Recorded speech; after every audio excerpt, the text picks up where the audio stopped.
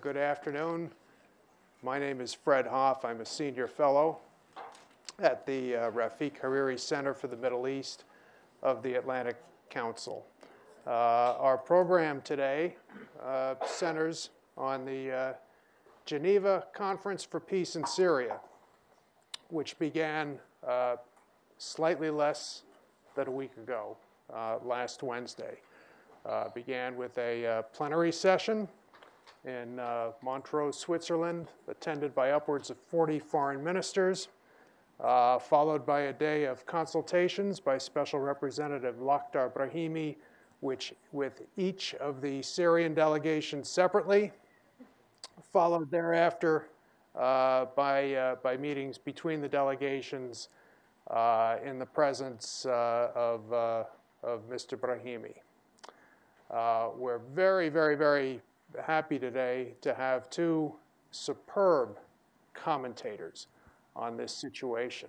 Our goal today is to get a sense of what's happened so far and uh, to the extent possible, what we might anticipate over the, uh, over the coming uh, days and weeks.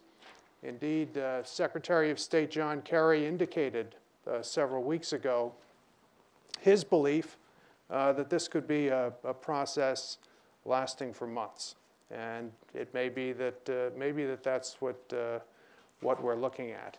Uh, with us today, uh, seated with me to my, uh, to my right, is Mona Yacoubian, who is Senior Advisor at the Stimson Center's Middle Eastern Program. Work focuses on Arab uprisings with a particular concentration on Syria.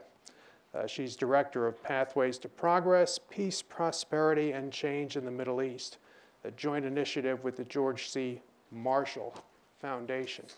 Uh, Mona is a, is a former uh, U.S. government uh, official, a person who I've always found uh, to be one of the most reliable, balanced, and articulate uh, commentators on, these, uh, on these terrible issues uh, that we're facing, uh, both in Syria and in Lebanon in particular, where, uh, where Mona's done some uh, absolutely extraordinary work. Uh, also uh, checking in with us from, uh, from Geneva uh, is the person whose, uh, whose presence is really, is really responsible uh, for us having this, uh, this program uh, this afternoon. Uh, Bassel Korkor is the legal advisor and acting deputy representative, National Coalition of the Syrian Revolution and Opposition Forces.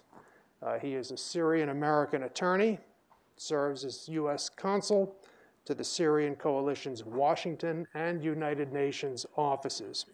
Uh, he advises the Syrian Coalition on various legal and foreign policy issues, including sanctions compliance, economic development, UN diplomacy, and international negotiations.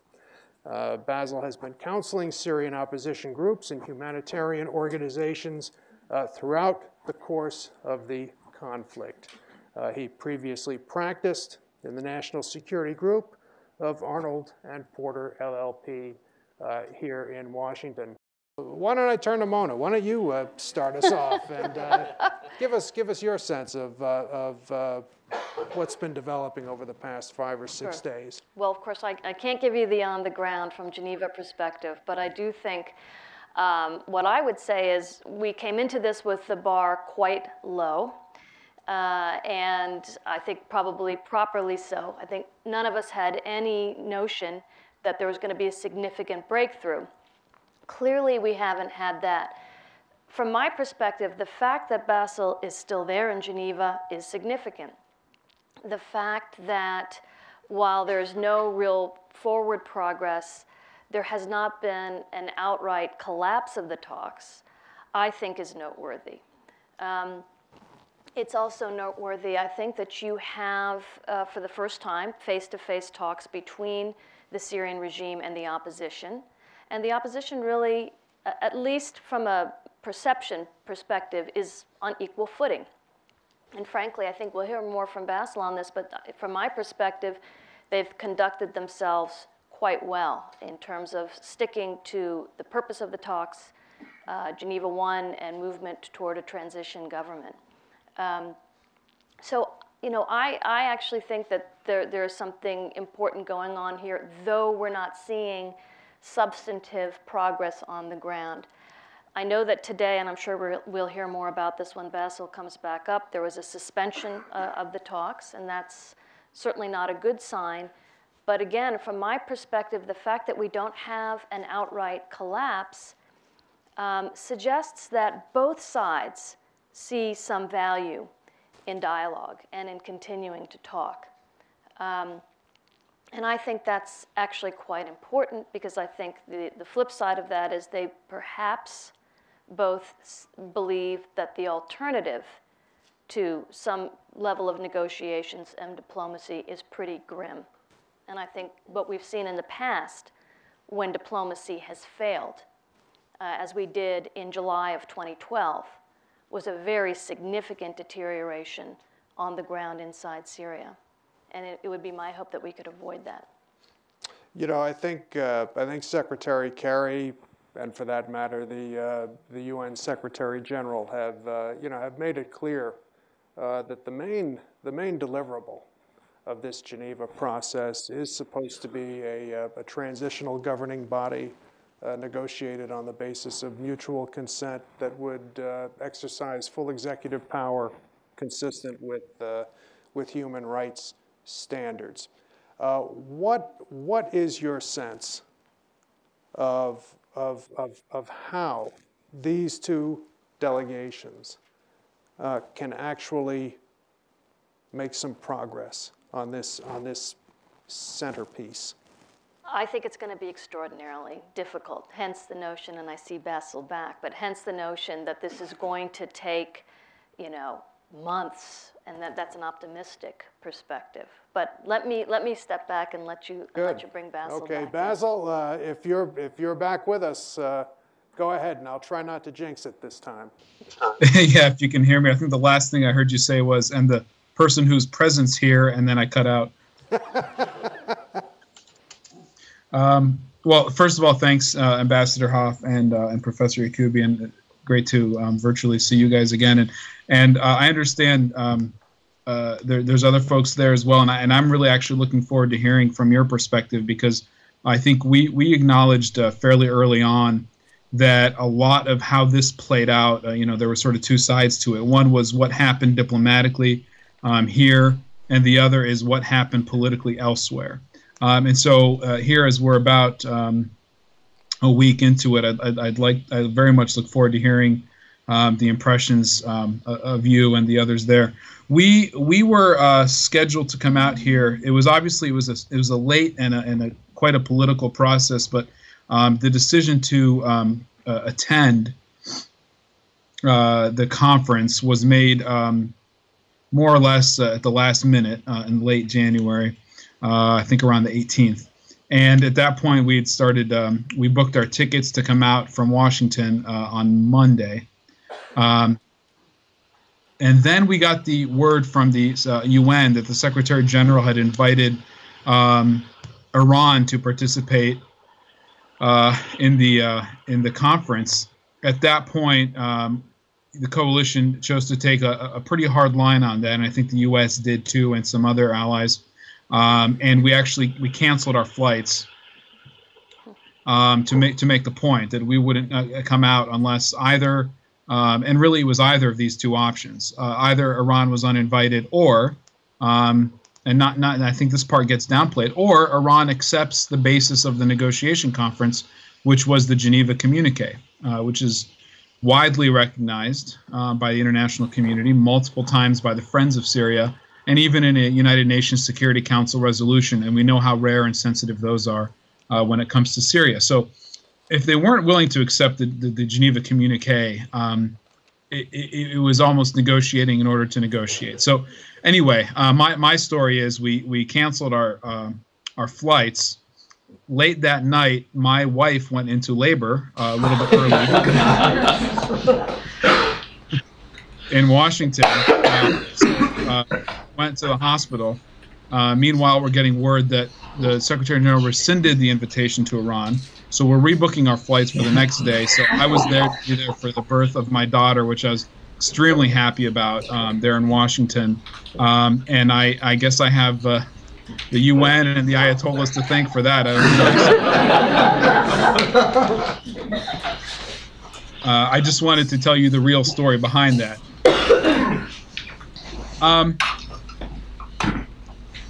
you know, since we got out here, um, and, I, and I do mean it, that I that I'm very interested in hearing um, the the impressions you guys have of that. Um, we've we've tried the opposition's approach to this has been one that, first of all, was months in the making. I should say this, although the final decision, the absolute final decision to attend, wasn't made until around the 18th, and then uh, had to be made again around the, the 19th or 20th. We had spent months preparing. Uh, this this team had uh, the, the the coalition had appointed a um, a committee to prepare for the uh, conference, uh, almost regardless of who would end up um, representing the coalition or advising the coalition. We wanted to have something in place. You know, they thought it was important to build up something somewhat institutional. Uh, research, the resources, the position development, uh, the strategy, the media, the outside resources that would be needed to go into the conference, and of course the training. So there were several months where many organizations and countries were hosting uh, negotiation simulations or negotiation trainings or lectures um, that that many more people in the opposition attended than could possibly um, rep- represent in Geneva.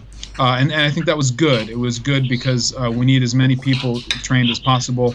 And we also need people who aren't here to be trained and understand what's happening so that they can relate to other Syrian constituencies why it's important that we're here and why it's important that we have this conversation, even though the doom and gloom surrounding it in the weeks uh, preceding uh, was was uh, almost uh, uh, uh, so pessimistic that that that, one might not have hope for for even attending. Mona, is it your understanding that the that the Geneva Final Communique has been accepted by the regime?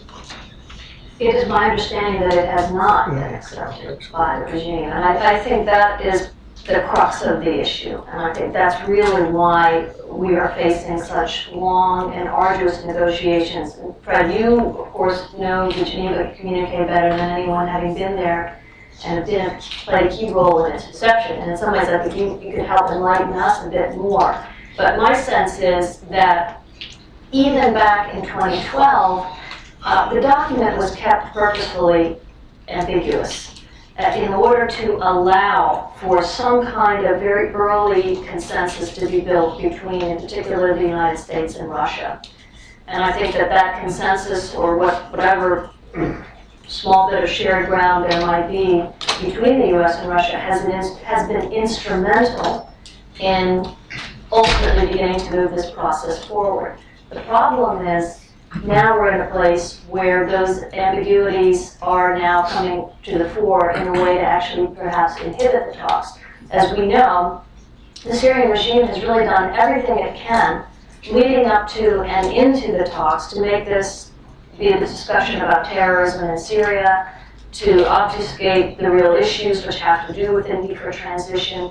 Uh, they, are talking about the need to get the Golan back, and they're, they're, they're going all over the place in terms of uh, talking about everything but the topic that should be at hand.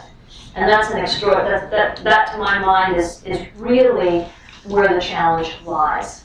I agree. Uh, in terms of uh, in terms of the discussion at uh, at Geneva One, uh, you're correct. There is a degree of, uh, of ambiguity uh, during the talks, P5 talks at the working level. Uh, there was initially uh, strong desire on the part of the United States, Great Britain, and France uh, to specify uh, that the current president of Syria uh, and his closest associates would not would not be part of any interim governing arrangement for Syria. Our Russian and Chinese colleagues objected to uh, they also objected to the formulation uh, having to do with people people with blood on their hands, uh, observing that you know people would see this as a reference to uh, Bashar al-Assad. Uh, so, so in the end, this was the genesis of the of the mutual consent clause, which in essence would give each side a, a veto over a person nominated by the other uh, to serve on the uh, transitional governing body.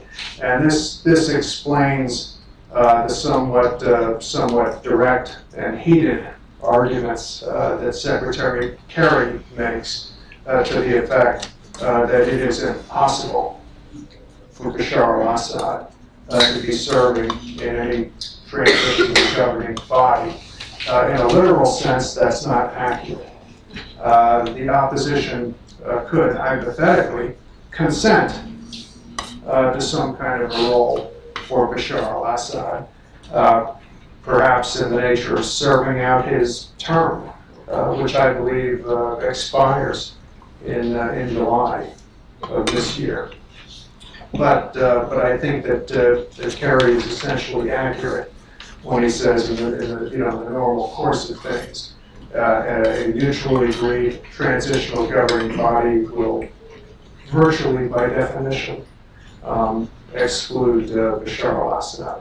Now, given the fact uh, that the parties are not likely to engage on this most sensitive of subjects, what about the humanitarian side of things? You, you, you've written and spoken extensively Right. about this. I- Is, is there a possibility of this, of this process actually producing something worthwhile here?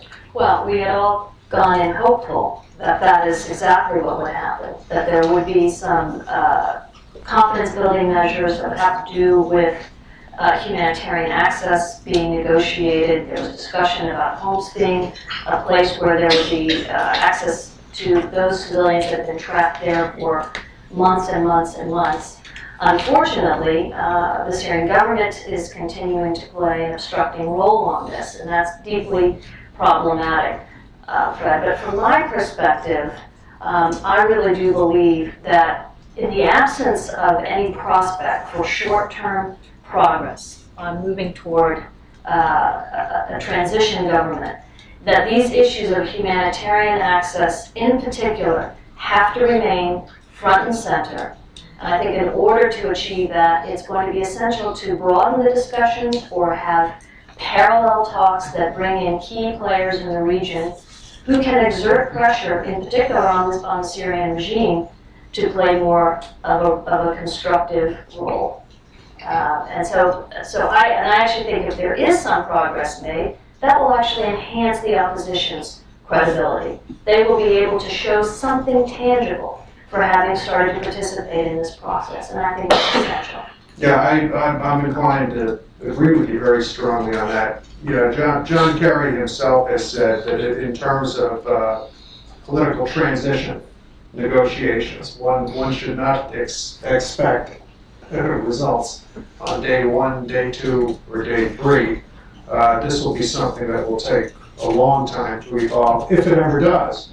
And, and what it would, what it would require in the first instance is a, is a decision by Bashar al-Assad to authorize his delegation actually to discuss the terms of a transitional governing body.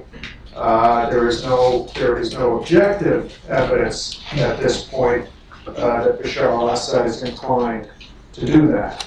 Uh, His, his own sense seems to be that he's very well, that, that Iranian-raised militias are doing a fine job in uh, propping him up in the west of Syria. So he's, he's in no, no particular uh, rush to the exits, so to speak.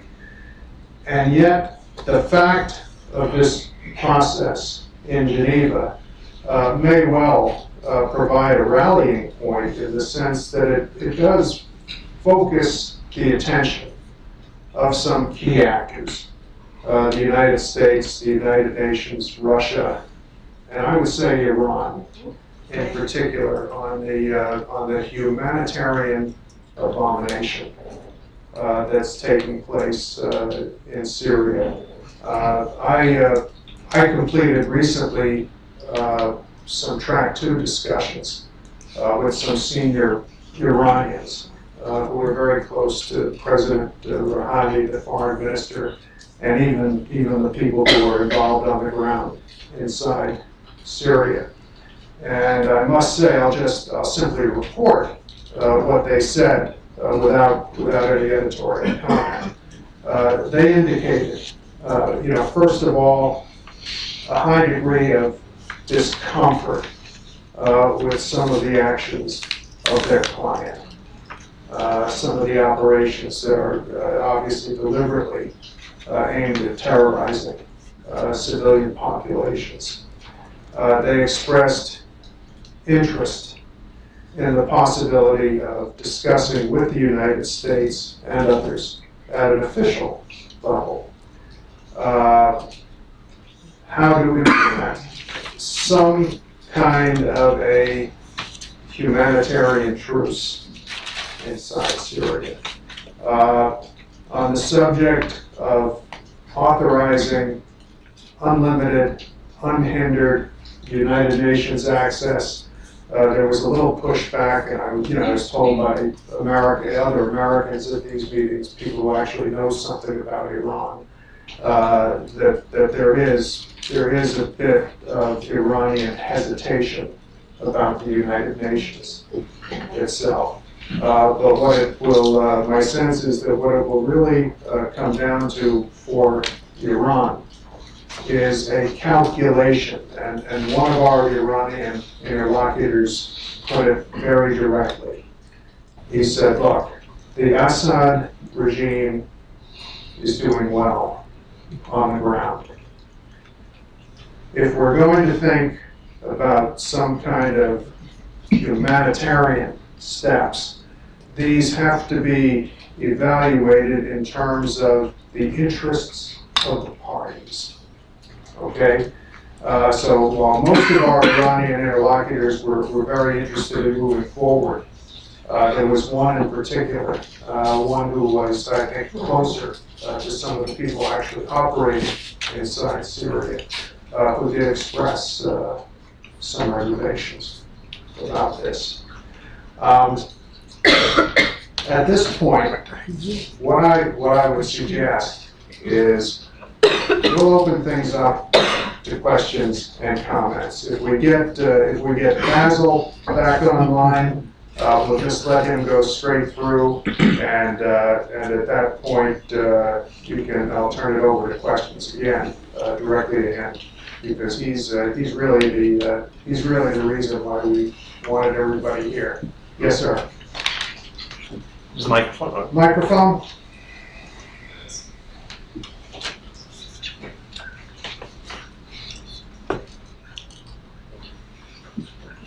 Thank you all for the panel. My name is Mohammed Rajan. I'm the director of Syria Justice and Accountability Center. Not sure I can ask the moderator, but I have two, two questions.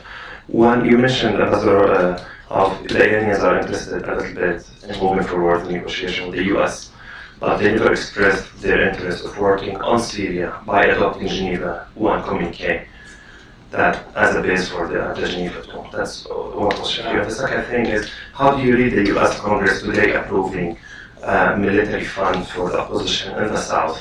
In the south, that means there's no Al-Nusra Front, there's no Islamic State of Iraq and Sham, but approving the funds now during Geneva communication, because we get a comment from Dr. Ibrahimi today saying he's very surprised that the US approved the arms to the opposition during the negotiation. All right, I'll start with the second. Uh, The second, first, there are, there are press reports to the effect that there was some kind of uh, secret proceedings uh, in the US Congress that, uh, that I guess authorized uh, some level of armaments for, uh, for Syrian rebel forces. I would emphasize, I would emphasize the word secret. I'm no, I'm no longer, I'm no longer a US government official, neither is Mona. And, uh, you know, to be perfectly frank, uh, if, if some kind of arrangements were made, I'm not, I'm not, I'm not aware of them. Uh, On, on Iran, uh, this is something that, uh, that is well worth clarifying. In these track two uh, discussions I refer to, our Iranian interlocutors made it very clear, and they were unanimous on this. Uh, There is no interest on the part of Tehran for political transition in Syria. None, zero. And we were, we Americans were on the receiving end of a, of a rather detailed and direct Iranian explanation for this. And, and it basically boiled down to this. Iran's primary interest in Syria is the role Syria plays in the support and upkeep of Hezbollah in Lebanon. Because as long as there is a threat, a prospect of Israeli air attacks on Iranian nuclear facilities, Iran will consider the Hezbollah missile and rocket force in the south of Lebanon as its first line of defense. Iran has come to the conclusion that there is nothing on this earth that is better than Bashar al-Assad in Syria uh, for providing that linkage to Hezbollah, logistical and otherwise, right? That any replacement of Bashar al-Assad, any replacement of Bashar al-Assad from an Iranian perspective would not be as good as the real thing. Okay? And therefore, and therefore Iran, as one of our interlocutors put it, Assad is not a bargaining point for us. Now, you know, it begs the question if in the future there's some kind of a nuclear agreement that Israel buys into and, you know, the threat goes away, what then? Well, you know, I think the prospects of that happening are sufficiently far off so that it doesn't have any, any particular operational relevance to what we're talking about today. Where we, where we did detect a degree of Iranian flexibility and interest was on the specific topic of the humanitarian catastrophe going on in Syria. All of our Iranian interlocutors were uncomfortable with the extent of what's going on. None of them, none of them tried to cover up or obfuscate in any way the events of last August 21st. The Iranians are quite clear about what happened and who did it, right? And, and, and they don't mince words about what, what they're seeing in terms of other practices also. Uh, there is some interest there. Uh, obviously, these are track two discussions. It's a track one where you have to do your professional due diligence and see if there's any there there. I, I would hope that the United States and others are following up uh, with the Iranians to see if there's any there there, because whatever, whatever can be done uh, to mitigate this god-awful situation in Syria uh, would be, uh, would be all the good. But it's my sense that Iran is an essential player in this, and uh, they have to be brought in in some way, shape, or form.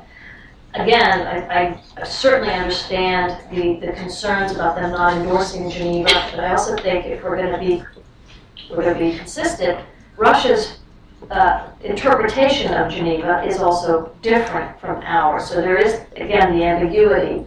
But secondly, I think from my perspective, the way to go, as I said before, are parallel talks, where Iran is not involved in the discussions that are Syrian to Syrian talks about ultimately political transition.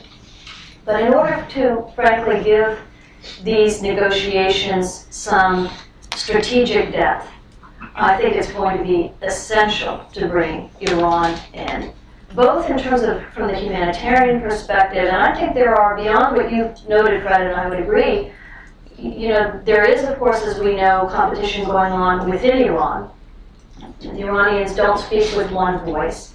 President Rouhani at Davos talked about their desire to engage constructively with the region, etc. So why not make this really a test of that proposition? by having them play a constructive role on this very specific issue of humanitarian aspect, uh, uh, access, precisely because of uh, how, how dire the situation is on the ground. And does that, in fact, perhaps also begin to open up possibilities down the road? I think diplomacy, by definition, is a very dynamic uh, process. We don't know in the, you know, by engaging in certain things, what other opportunities may open up. I also think it's essential that there be some kind of uh, discussions or dialogue between Iran and Saudi Arabia. These are the two key regional actors who are fueling this conflict. And unfortunately, Syria is no longer just a sectarian civil war inside Syria. It is now, as well, a regional, maybe even global proxy war. And so I would also put de escalation alongside humanitarian access front and center as a key objective in the near term. And I think much could be accomplished by bringing Iran and Saudi Arabia around the table. Yeah, uh, and Turkey for that matter. And Turkey and Iraq, Yeah, actually. I think your, uh, I think your, your sense of the, uh, the necessity of parallel talks is, is, is not only spot on, but in fact, it's, it's facilitated, uh, by the way this Geneva process, uh, has been structured. Uh, Lakhdar Brahimi, uh, the special representative, uh, made it very clear that the, uh, that the high-level plenary opening, uh, would not be repeated anytime soon unless, he saw a specific reason, he or the Secretary General, uh, to reconvene the 40 foreign ministers. So at one level, uh, there are just supposed to be talks between the two delegations. Uh, but inevitably, there are other delegations operating in and around Geneva. And I think that's, that's where you can get, uh, that's where you can get some of these discussions going. Uh, In our, in our, in our talks uh, with these uh, prominent Iranians, one of the, uh, you know, one of the points, one of the points we made, well, first of all, one of the points they made was that they considered, without doubt, the nuclear negotiations to be the main event in their, in their bilateral relationship uh, with the United States. Uh, so one of the points we tried to make, and I, and I think it was more or less accepted, is, you know, can you, given, given what you know about your client's behavior, can you be absolutely sure that there is nothing that he or some of his subordinates might do, nothing, that would actually attract the attention of the President of the United States and re-raise uh, the possibility of a, uh, of a credible threat of military strikes. And if your client does somehow create for this president a Srebrenica moment and it's acted upon, uh, then what impact would that have on any ongoing nuclear discussions between the United States and Iran? And there was, you know, there was, there was some interest in that proposition, uh, but, but also, also the sense that, uh, that Iran's, what, you know, what, what our Iranian interlocutors describe as Iran's traditional adversaries, the United States and Israel. Uh, their view was that neither the United States nor Israel has done anything of any real consequence in Syria. Uh, so the Iranian team said that it, was feeling pretty comfortable about the state of affairs, that Iran had weathered the storm in Syria, uh, that the real problem was Saudi Arabia. Uh, but, uh, but at least the, the Iranian perspective we heard uh, was one in which, you know, the, the, the question of humanitarian work is possible to consider, Uh, But beyond that, any kind of Iranian role in facilitating uh, some kind of uh, political transition in Syria under current circumstances, just not on. Uh, That's what they said, whether or not they represent uh, current thinking of the supreme leader, the president, uh, others, uh, I don't know. Questions? Sir? Thank you. Um, regarding Iran's position that, sorry, that humanitarian agreements may be a possibility, but regime change is not. Um, is any sort of robust humanitarian agreement or humanitarian provision real, a realistic possibility so long as the current regime is in power? I'm, I'm wondering specifically about the role of spoilers uh, militias supporting the regime, but which the regime doesn't necessarily exercise comprehensive control over, such as militias supported by Iran. Um, so as the regime stays in power, um, wouldn't there be a danger that these militias would act against an agreement to uh, protect civilians and that would trash the humanitarian side?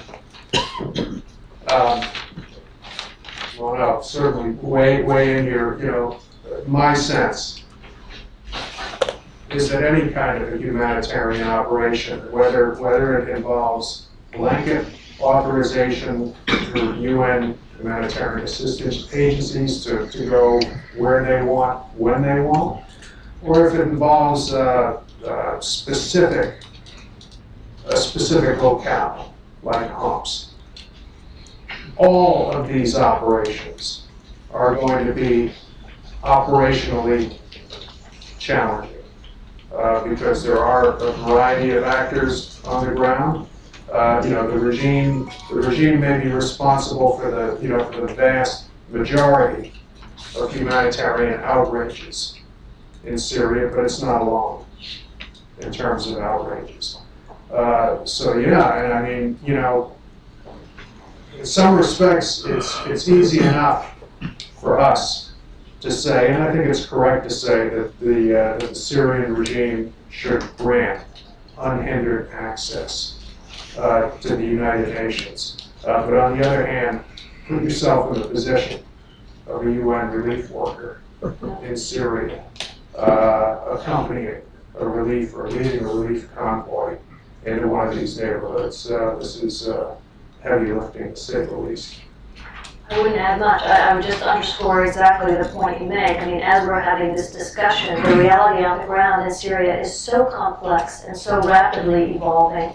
You have, again, IRGC representatives, you have other Shia militias coming from Iraq and elsewhere. You have, of course, a large number of foreign fighters, Sunni fighters, and jihadist elements. I, I think today there was some uh, attack uh, on, again, I think the jihadists and other uh, various and sundry uh, armed forces on both sides of the conflict who are not in favor of negotiations will act to undermine the talks on the ground through by undertaking attacks, by blocking access, by doing all kinds of things. So it's it's yet one more challenge to contend with. Yeah, I think the real. Hey, can you hear me? Hello? Yeah, Bassel, you back on? Yeah, can you guys hear me okay? I'm on a good old fashioned cellular telephone now. Yeah, okay. Okay. Yeah, go, go for it. Thanks. Thanks for your patience. Oh, thank you. I, I, I'm sorry, I, I don't know what it is, but uh, I, I don't know how not when I was talking about the first face to face meeting earlier, but um, I, you know, like I said, we had our negotiating team appointed, and when they walked into the room, um, the other side of the table was was a completely, um, almost entirely junior staff level um, delegation from the the only person there I think was uh, the first day was uh, Bashar Jafari, who's the, um, the the government ambassador or permanent representative from the United Nations, and he's he's obviously um, a more empowered uh, uh, figure. But the others, um, you know, they, there was no Bouthaina Shaaban, there was no Walid Muallem, uh, there was no Manzabi, there was there was just um, there wasn't who they thought would be there. Um, so you know, weren't quite sure how to take that at first, but um, you know this this was a team on our side. Like I said, we had done a lot of preparation for this, and this wasn't a team that was going to give up at the first curveball. So they decided to uh, to sit through it, and, and they'd had a pretty good day at Montreux. They felt, uh, at least coming into it, that the, the regime was just sounding like a um, like a regime. I mean, it was sounding like a dictatorship, and and the fact is, when they get down to it and they've got to talk, what we're seeing in action here is that dictators that don't like to listen, they don't have to listen, um, let alone negotiate. It's not it's not part of the job description of a dictator, quite literally. So um, that's that's becoming evident. Um, we're getting the sense as well that, that, that there was something that uh, it wasn't necessarily a purely strategic move, that there might be something there um, uh, between, say, the regime uh, uh delegation here in Geneva and, in fact, uh, in Damascus itself. Um, we started getting um, getting into the the first two days uh, to focus mostly on the humanitarian access and Homs. Um, you know, with our priority coming into this, we've made it clear many times. Our, our allies have all made it clear. Um, was transition, was formation, setting the stage for forming a transitional governing body um, that could begin to replace the, uh, take the full executive authority of the president and begin to replace this government, set the stage for constitutional reform, reconciliation, um, elections, free and fair and open elections, uh, national unification of, of, armed forces, security sector reform, everything. Um, but th- there is, let's be honest, even though it is of the regime's making, there is a humanitarian disaster on the floor, uh, on the ground, and while we need not uh, try to squeeze too much into um, one session, we did think that um, the situation, Homs in particular, uh, we had done enough um, background, uh, both on the ground and, and uh, through back channels, that we saw an opportunity there uh, for these negotiations to start off with an opportunity to feed people, to get food to people who are trapped, um, who can't get access to food and medicine. Um, so, so we were quite open to that. We, we set aside the idea of the transition governing body for a moment uh, to get a very, very pressing issue. Um, and we found, like I said, uh, on one hand, this this delegation here um, just didn't seem empowered necessarily to make final decisions on that issue. Meanwhile, through uh, through back negotiations uh, directly with Damascus, we learned that there was, in fact, some preparation there, with the Red Cross uh, having loaded numerous trucks and uh, sent them towards Homs. Uh, and some and some conversations between Damascus and the governor of Homs that you know we could get this food into the into the folks. Now, the next thing that happened was um, was this announcement that that uh, JSR Brahimi made um, that there was an agreement on uh, uh, uh, essentially what he described as an evacuation of Homs. Women and children could leave. Um, men could leave if they, you know, submitted their, their names and backgrounds for search. Um, and and in so doing, we could we're thereby providing you know humanitarian relief to uh, to the people of Homs. I, I, I should be clear that that wasn't that wasn't the agreement. Um, quite simply, there, there wasn't. That's not what was. That's not what's needed in Homs. What's needed in Homs and what the agreement being discussed was was the uh, transportation and many trucks that were sitting there with the engines warm and the keys in the ignition to deliver tons and tons of food and medicine to the people trapped in Homs. This was not about um, evacuating the uh, women and children, or as many of them uh, could get out, and then uh, you know leaving behind the, the men and, and those who couldn't escape to be subject to the regime bombing again the city. Uh, this, this, this may have sounded new in the media, but this wasn't new for the opposition. They, they've seen this in other cities in Moadamiya where they released some people only to see them uh, arrested or even shot at in some cases. Um, so this, this wasn't about evacuating uh, people and leaving the city vulnerable to, to, to that uh, exposure to bombs and, and, uh, and massacres. This was about getting food, and still is, about getting food, water, and medicine to starving, and I'm sure terrified people um, inside Homs. So that's actually still ongoing. As, as, as recently as the most recent um, negotiation session, which was a few hours ago, um, that that issue came up again. Uh, another thing that um, that came up uh, today. So yesterday, the regime uh, took took its chance uh, to uh, to discuss an issue of importance to them. It was an issue of importance to everybody, but the way they frame it is, is not quite accurate, and that's the issue of terrorism or anti-terrorism. Um, you know, you may know from the rhetoric and, and, and the way they describe the opposition, um, they, they don't recognize legitimacy opposition. Even sitting here across the table and, and uh, at the UN, uh, they insist uh, in the public media that they don't um, recognize the legitimacy of, of, of the opposition. Uh, at the same time, of course, they're sitting across the table. Um, uh, they they refer to terrorists uh, to, to to the opposition as, as all terrorists. They don't distinguish. If you bring up the issue of women and children, which which the uh, the uh, Human Rights Committee within our delegation made a made a presentation of. Uh, well, we, we spent a lot of time gathering thousands and thousands of names, and eventually made a presentation of upwards of uh, 2,500 names of detained women and children. Um, some of these very very young children. Um, to to the regime, and the response was, well, look, even women and children um, are suspects; they're potential threats, and so uh, you know we're not going to agree to to just this mass release of, of children and women. Um, and in fact, uh, we saw that reflected again the next day when we got back to Homs, that now that the women and children who they wanted to evacuate from Homs would also need to be subject to a, a search. Um, and uh, search isn't quite the same as, as at the TSA checkpoints here. Uh, when they say taftish uh, in Syria, you're talking about the mukhabarat or the uh, military um, uh, forcibly you know, searching and clearing any threats that, that they perceive. So, um, again, uh, this is this is this is what they're dealing with, and this is still their posture in the negotiations. Um, we we took a different approach. Our, our delegation did something just a few hours ago um, uh, that I thought was was was was quite um, was was quite empowering for us. Um, we had, as I said, for months been preparing. One of the things that, that we prepared and uh, was a essentially a document that laid out our vision for the future Syria. Now, again, these are very lost, lofty ideals about democracy, a civil society, pluralism, um, free and fair elections, uh, inclusion and non-discrimination, equality, access to justice.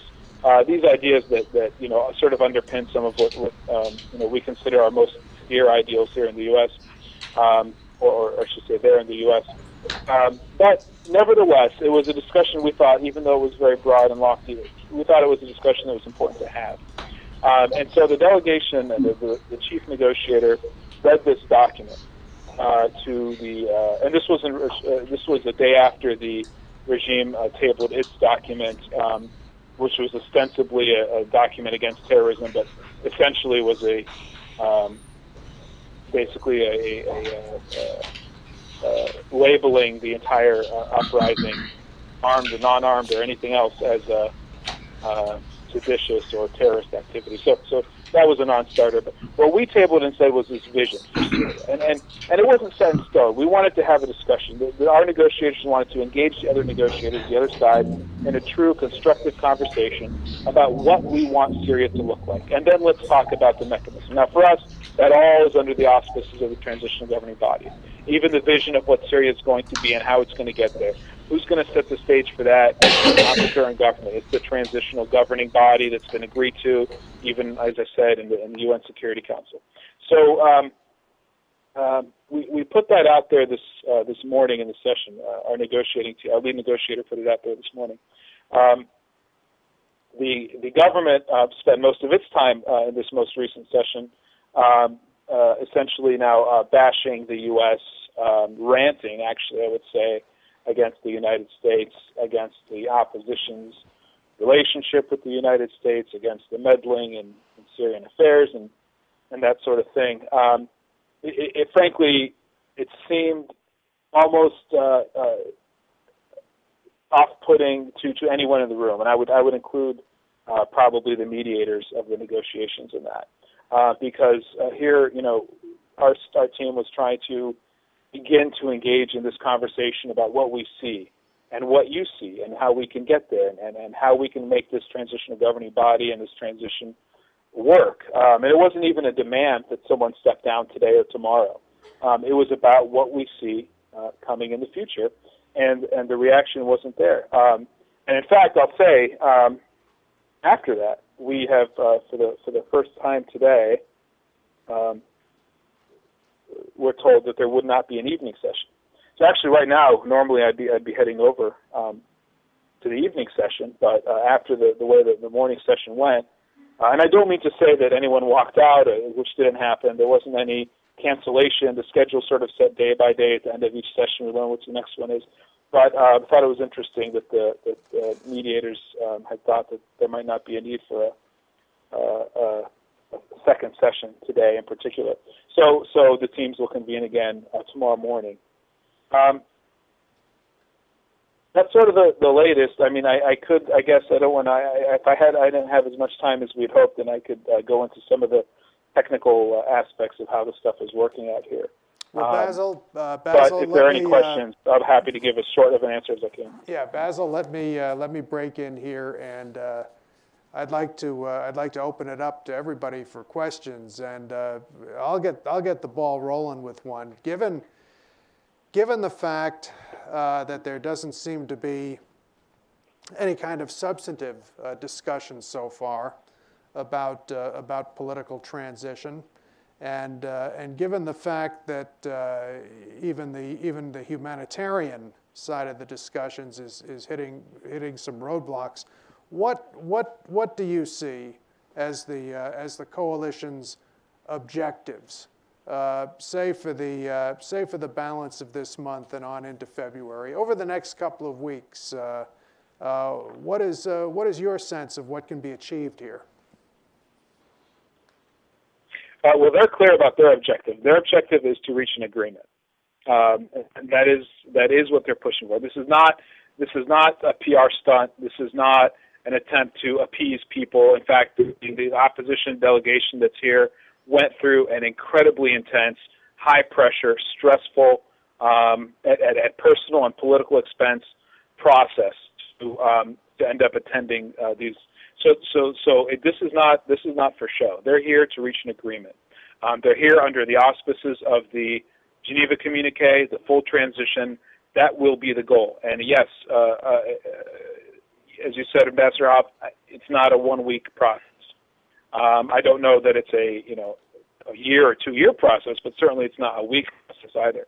Um, but that, that's where this has to go. This is about helping end the conflict um, for so many reasons, as a practical matter, unless there's a transition, there simply can't be support and the stability that's needed to move on with the reconciliation, the reconstruction, the democratization, unification um, that's needed to end this uh, conflict. So, so the, the goal is the same. The goal is to establish a transitional governing body eventually um, and set the stage for this for this transition.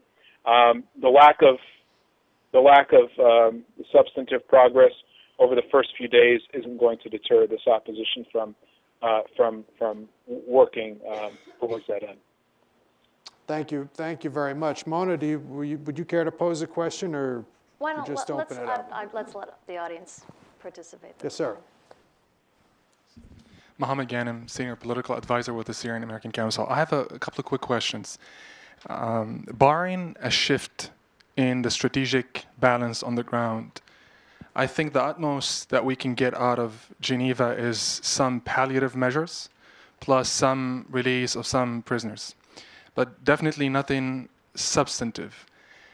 The question is, uh, and I don't think that any game changer is in the cards right now so barring this shift in, in balance or political will to affect that, that shift, do you think that eventually, if the process collapses, that that will check the box for President Obama because the process will have put on display the intransigence of the Assad regime? That's the first question. Second question, there, are, there were multiple reasons why the administration did not go ahead with the strikes. But do you think that concern over uh, the nuclear deal with Iran was one of them? Thanks. Would you care to take a Uh, shot so at that? So first, or- on the first point, um, sorry, Mohammed, can you guys hear me? No, go ahead, Bassel, go ahead. Okay. Uh, yeah, sure. On the first point, um, no, uh, certainly the opposition is not here to check a box. This is not about uh, what we could do to get more support in the future. I, I don't know that dynamics will shift so much that um, because you know we spent a week negotiating, they're all of a sudden going to you know change their foreign policy. I don't know that that's in the cards, and I don't think they're here to check that box um, to get to get more support. Of course, you know this is a simultaneous process. They're also lobbying, just as they have been before and will continue to do, to get more support uh, for the cause, um, uh, regardless of uh, of this. Um, uh, you, know, are the um, on the shift on the ground, let me just say quickly that the latest activity on the ground from uh, from the perspective of the um, of the moderate uh, the Free Syrian Army here, um, obviously the past few weeks has has actually been uh, not so directly against the regime, but but against uh, the Al Qaeda affiliated uh, Daesh or ISIS or ISIL, Islamic State of Iraq and the Levant, or, or however you um, choose to, to label them. But uh, that that is a terrorist group. They reject the leadership and the legitimacy of the opposition and, and all the opposition. And in fact, the opposition uh, feels reciprocates um, that to them. And in fact, uh, you know, they were doing in the places where they were taking authority was was as bad or worse than what the regime was doing. Uh, and so it did take um, that realization uh, after some time. Um, uh, you know, sort of really, really regrettable complacency uh, in some places on the behalf of some people to turn against these groups, and they've done that. And so the battle on the ground is against those groups just as much against the regime. This is an anti-terror operation um, to to root out the um, the uh, Al Qaeda groups, terrorist groups in Syria. It's an incredibly important. And Geneva, frankly, no matter what results from it, won't directly do anything to solve that problem because that problem is, is regardless of uh, of any political agreement. Respect any political agreement. That's a threat that has to be dealt with. It's much better dealt with when they're not at the same time fighting, um, you know, fellow Syrians who are who are attacking cities and starving people. So, so that's the, the latest on the ground um, from from uh, from our perspective.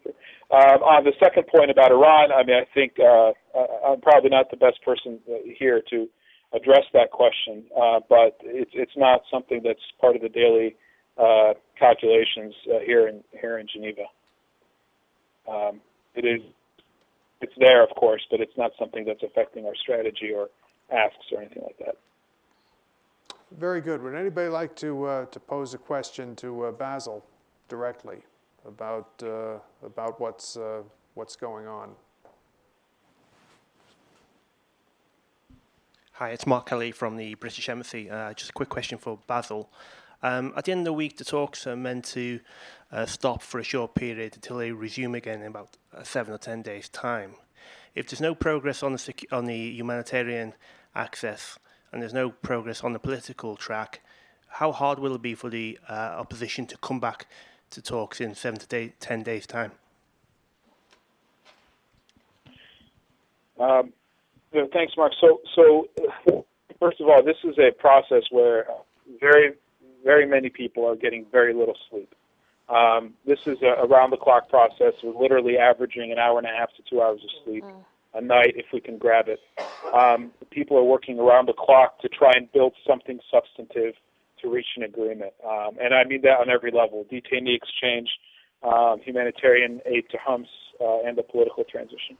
Um, if there is to be a break and then a resumption, um, that doesn't mean uh, a break in the efforts. It means it may mean a break in the direct uh, these day-to-day shuttling and negotiations, but um, it won't. It won't. It doesn't take uh, uh, formal sessions here in Geneva to to keep talking and to keep uh, working towards achieving that humanitarian aid. So that's something you know we should we should we should be seeing that soon. We should be seeing it right away. Um, it's something that we shouldn't. It doesn't even need negotiation.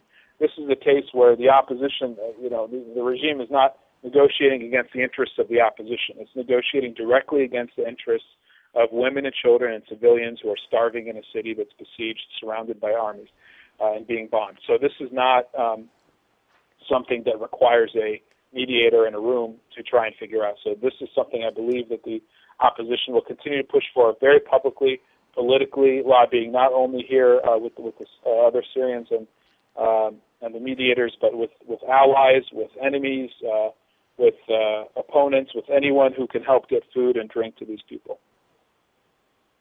Uh, Bassel, if I, if I may pose a question, what, uh, what, has, the, what has the government uh, delegation actually said? What has been its reply to the, uh, to the question of whether or not it uh, accepts the, the Geneva final, memor- final communique? Um, once again, um, Ambassador, the response here has been different than it's been before, frankly. Um, we, uh, in fact, directly uh, uh, looked into this uh, today um, at the at the morning session, uh, where the same um, uh, the same representative who's negotiating on, the, on, the, on behalf of the government there, Ambassador Jafari, um, had a had a quote on the the day after the adoption of the uh, the OPCW resolution, Security Council Resolution 2118, where they welcomed and supported um, the inclusion of the Geneva One clause in the Security Council resolution and believed in the uh, implementation, fully support the implementation uh, of of Geneva One at a, a negotiated process. Uh, so so they're on the record with that. Now, what you've seen in the lead up to the and in fact, in, in Secretary General uh, Secretary General's invitation to those to attend this conference, um, it says quite clearly that acceptance of the invitation to attend this conference, I'm paraphrasing, um, uh, equates to the acceptance of the premise of the negotiations, which is the implement, full implementation of the Geneva Communique. Um, now, they wrote back, they accepted the invitation, and then they also wrote a letter saying, well, we're not comfortable with everything in the invitation, but but you know they're here. That's the point of the discussions. That's something that is agreed across the board. Um, so so in a sense, that's what they've said before. Now, what they've said here again, it's it's closer to what you saw in that letter, which is uh, you know, Geneva Communique has some has some nice things in it, but we don't want to go with all of it. I think the exact language is something like the you know not everything in the Geneva Communique, not every word is sacred. Um, and, and in fact, there are some things in the six-point plan and Kofi Annan six-point plan, which is incorporated into the Geneva Communique, um, that they would prefer to focus on. Uh, uh, terrorism was one of those examples. Now, of course, as has been said repeatedly, the terrorism here, uh, look, no one denies that there's that there's terrorist activity there. In fact, again, the opposition is directly fighting against it um, uh, in many instances. But um, uh, the, the root of it and the ability to actually solve it and to take it on both politically and militarily and in any way you, financially, any way you can imagine, um, can't happen with any kind of earnest uh, uh, attempt or uh, effectiveness um, until this until this transition takes place or at least begins.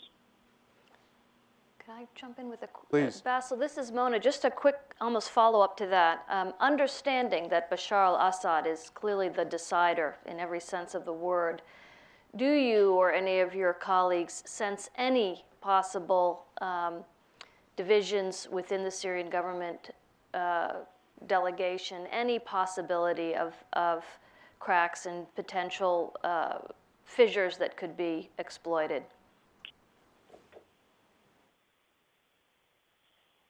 Um, I want, want to just on the on the on the first part of the question. Um, that he's the he's the decider in every sense of the word. Um, I, you know, he, he is uh, within the Syrian government. There's no question. Um, he's the he's the ultimate authority, um, and I have no doubt that that extends to the um, to this negotiating team. I, I don't know that the decisions and the positions that that he takes or that the country takes are necessarily. I don't think that necessarily means they're not affected by other decision makers.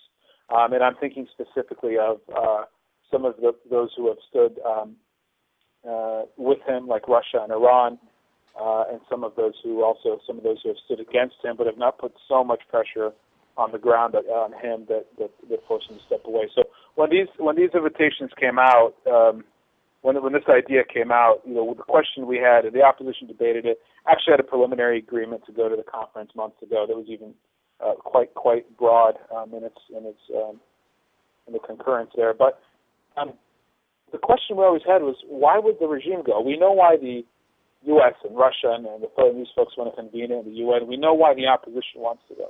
But why does the regime? Why would the regime go? Because if you literally implement the Geneva Communique in any capacity, even if you don't do the full transition, the full authority that we're talking about, any kind of implementation of it is a reduction in power and authority of the regime. That, at least it seems, on the ground, it can win militarily, or at least maintain enough territory to maintain that kind of legitimacy in most of the country or some of it. So the answer to that question wasn't clear. And to me, I'm not sure it's still, after a week of negotiations, it is clear.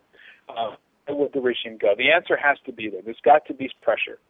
The answer is pressure. And the pressure can either be from its allies, uh, Russia and Iran, who start to see um, that there is an alternative they can live with, and frankly, that comes to us, that comes to the opposition. Um, it falls on the opposition to uh, demonstrate to those, uh, to the Russians and to others that um, you know, this is what the opposition stands for. This is what they envision. They're not looking to kick, you know, uh, to to redu- just completely um, extract the interests, uh, a sphere of influence of one country from from Syria and replace it with others, or to to gift Syria to some other country who stood by the the opposition, as opposed to you know uh, uh, countries that did. And this is this is not a this is not a a revenge or a, a vengeance or even an attempt to take power or take control. This is not an opposition that's fighting to take control of the government. This is opposition that's fighting to establish a system whereby people can elect their representative government. Um, so if they can make that case and respect minorities and be inclusive and have a, uh, strong military ties and security interests that, that the world will share, if they can make that case, then maybe that's the beginning of the reduction in pressure uh, reduction in support from from the traditional allies. On the other hand, something that I believe was alluded to earlier, which is it could also be pressure from the opponents of the regime, the friends of Syria, the U.S., uh, uh, Arab countries, and Turkey, and others, who could actually increase their support on the ground or politically um, uh, uh, increase the pressure on the regime and on its supporters um, to force the transition. So uh, I don't I don't think it's just the fact that he's the ultimate decision maker and we're essentially negotiating a reduction in his authority uh, that that means that, that that there's no point in negotiating. I think there's there are many levels to this. One of which Ambassador Hof referenced earlier, and I, I have no doubt that there are other um, aspects to it. Um, so I, I do think it's something that that we earnestly see as an opportunity to to move on and get to the task of repairing the country instead of uh, instead of fighting. Uh, well, Bassel, thank you. We've uh, we've we've reached the uh, limit of our allotted time here. I just uh, before you uh, before you make another attempt at getting a couple of hours sleep, uh, any any closing comments from your end? no. Um, I, I um, this is ongoing. Um, I believe um, Ambassador you said something about wanting to hear about the inside baseball. And, and I'm thinking, well, this is this is not even a seventh inning stretch yet. I think maybe after the season we can reflect on a lot more. But in the meantime, I would very much like to hear. Like I said, I, I didn't get a chance to as much as I, I'd like, but to hear from folks who are there, who are following this and studying this. Um, and a number of you actually have have sent in some comments to us and some thoughts to us. And we, you know, we're not. This is no pride of, of, of authorship on what the opposition is doing here. Like I said, they did it with teams, with outsiders, with people who haven't necessarily been in the political sphere before, but technocrats and professionals and uh, academics and thinkers. So anything, if there's any way to funnel information or thoughts, we're, we're open to it. And, and um, as recently as yesterday, we had someone from one of the Washington think tanks come out and sit with us uh, for a while, and, and it was very helpful. So um, I do hope that the dialogue continues. We look for it uh, proactively as well on, on the internet and on Facebook and Twitter and everywhere.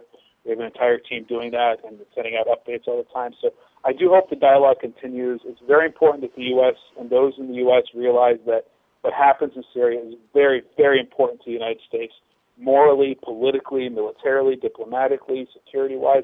It's extremely important to what, what, what to the United States, and we hope that the dialogue there doesn't die dead. Hope that everyone there gets um, gets as much uh, into this as we do, because that's the kind of thing that will move us forward. So thank you on that note, Ambassador Hof and, Professor Yacoubian for doing this, and I hope I hope this uh, type of activity will continue uh, even while we're negotiating. Uh, well, thank you, Bassel. We, uh, we look forward to uh, having you back here uh, in person before long, so, so we won't have to deal with these technological challenges. Mona, any Closing remarks? Maybe just again, my own endorsement of what Bassel just said, the importance of dialogue. I think Mohammed's question about what would happen if the talks fail, will President Obama change his calculus? My sense is I don't think he will.